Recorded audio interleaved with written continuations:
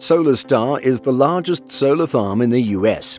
When the farm was set up in June 2015, it was the biggest solar farm in the world. Solar Star has 1.7 million solar panels spread out in more than 13 square kilometers in Kern and Los Angeles counties, California, which is nearly the size of 142 football fields or four times the size of Central Park. The project is divided based on two separate installations, the Solar Star 1 and Solar Star 2. The first one has a capacity of 314 megawatts and the second one has 265 megawatts. Overall, Solar Star generates 579 megawatts of energy, which is enough to provide electricity to almost 255,000 households. These are a few more facts about the Solar Star project. Topaz Solar Farm is located on the Carrizo Plain of San Luis Obispo County, California. The construction of the project started in November 2011 and in February 2015 all the construction activities were completed. The solar farm is spread out over an area of more than 15 square kilometers and provides enough power for 160,000 homes. The capacity of the Topaz Solar Farm is 580 megawatts and when operating at full capacity, it produces enough electricity to power nearly 180,000 households. The solar modules in the Topaz solar farm are mounted together on panels that are supported by steel columns. The economic benefits this farm provides include an estimated $417 million in positive impacts, such as property and sales tax revenues for the county, wages from direct or indirect employment, induced spending, and supply chain revenues. The Ivanpah Solar is a concentrated solar thermal plant in the Mojave Desert and stretches 5 square miles. It's located at the base of Clark Mountain in California. This $2.2 billion facility was developed by BrightSource Energy and Bechtel. The largest investor in the project was NRG Energy, which contributed $300 million. The solar farm has a total capacity of 392 megawatts it has deployed 173,500 heliostats, each with two mirrors focusing solar energy on boilers placed on three centralized solar power towers. The first unit of the solar plant was connected to the electrical grid in September 2013 for an initial synchronization test.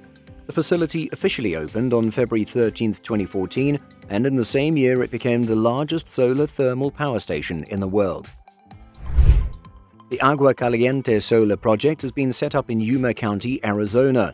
The solar farm is built on an earlier distributed agricultural land 65 miles on the White Wing Ranch. That piece of land was chosen after a thorough search on the availability of solar resources. The project required minimal new transmission infrastructure due to its strategic location. Construction of the project was completed in April 2014 and has a capacity of 290 megawatts.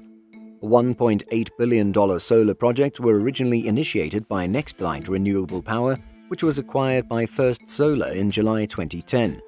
In August 2011, NRG Energy took over the project from First Solar. In fact, First Solar provided 5.2 million cadmium telluride or CDTE modules for the solar project.